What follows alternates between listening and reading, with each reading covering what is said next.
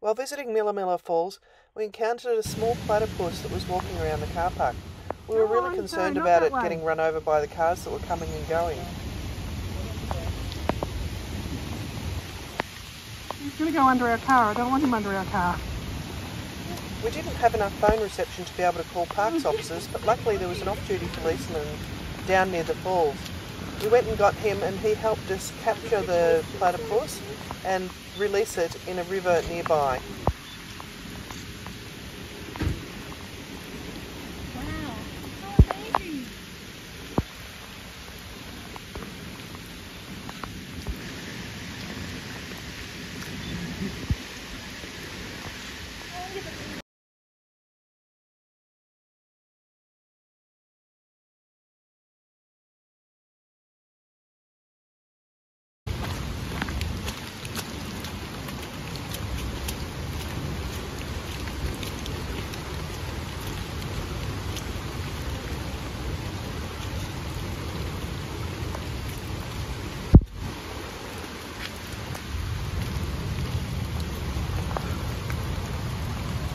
How oh, amazing. There it goes. Yay. that's where it belongs. It swims well. Oh, Good fella.